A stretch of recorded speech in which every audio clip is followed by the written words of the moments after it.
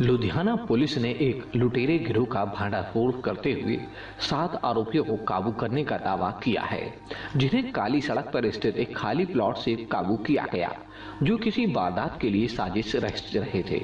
आरोपियों से तीन तेजधार हथियार, दस मोबाइल फ़ोन और दो मोटरसाइकिल भी बरामद की गई हैं।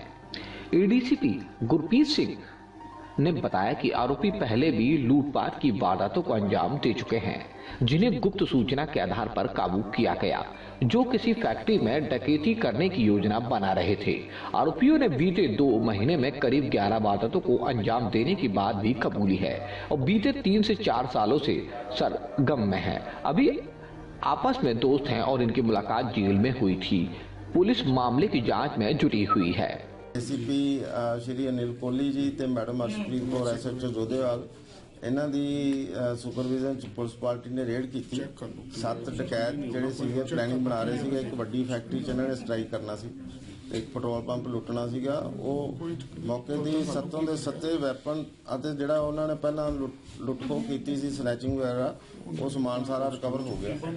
ਤੇ ਇਸ ਨਾਲ ਇੱਕ ਵੱਡੀ ਡਕੈਤੀ ਹੋਣੋਂ ਉਹਦਾ ਬਚਾਅ ਹੋ ਗਿਆ। ਸਰ ਕਿਹੜੀ ਚੀਜ਼ ਦਾ ਕੰਮ ਕਰ ਰਹੀ ਹੈ ਇਹ? ਜਿਹੜੇ ਸਾਰੇ ਸੀਗੇ ਇਹਨਾਂ ਨੂੰ 3-4 ਸਾਲ ਹੋ ਗਏ ਦੋ ਦੋ ਤੇ ਤਾਂ ਦੋ ਤਿੰਨ ਪਰਚੇ ਦਰਜ ਨੇ। ਔਰ ਅ, ਜਿਹੜਾ ਅ, ਇੱਕ ਹੈਗਾ ਉਹ ਚੂੜਪੁਰ ਦਾ।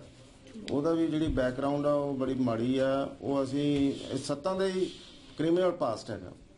ਔਰ ਇਹਨਾਂ ਨੇ ਅ, ਜੋਧੇਵਾਲ ਸਲੇਮ ਟਾਵਰੀ ਹੈਬੋਵਾਲ ਜਗਤਪੁਰੀ ਚੌਂਕੀ ਚ 11 12 ਵਾਰਦਾਤਾਂ ਜਿਹੜੀਆਂ ਲੁੱਟਖੋ ਦੀਆਂ ਉਹ ਮੰਨੇ ਨੇ।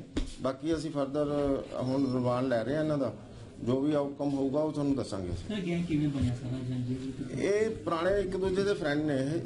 ਜਿਹੜੇ ਦੋ ਤਿੰਨ ਜ਼ਿਆਦਾ ਵੱਡੇ ਕ੍ਰਿਮੀਨਲ ਨੇ ਇਹਨਾਂ ਚੋਂ ਜਿਵੇਂ ਆਹ ਸਨੀ ਹੋ ਗਿਆ।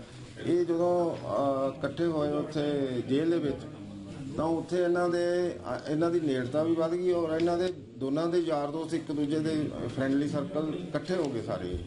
ਸਰ ਉਹ ਤਾਂ ਕਿੰਨੀ ਵਾਰ ਤੁਹਾਨੂੰ ਕੀਤਾ ਜਾਊਗਾ ਇਹ ਜਿਹੜੇ ਦਸੰਬਰ ਤੋਂ ਬਾਅਦ ਇਹਨਾਂ ਨੇ 11 ਵਾਰਦਾਤਾਂ ਆ ਜਿਹੜੇ ਥਾਣੇ ਦੱਸੇ ਸੀ ਜੋਧੇਵਾਲ ਸਲੇਮ ਟਾਵਰੀ ਹੈਬੋਵਾਲ ਤੇ ਜਗਤਪੁਰੀ।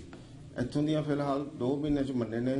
ਬਾਕੀ ਹੁਣ ਅਸੀਂ ਇਹਨਾਂ ਦਾ ਰਿਮਾਂਡ ਲੈ ਰਹੇ ਹਾਂ ਫਿਰ ਬਾਕੀ ਤੁਹਾਨੂੰ ਬਾਅਦ ਦੱਸਾਂ ਸਨੀ ਸਨੀ ਔਰ ਜਿਹੜਾ ਅਜਮੇਰ ਹੈ ਚੂੜਪੁਰਾ।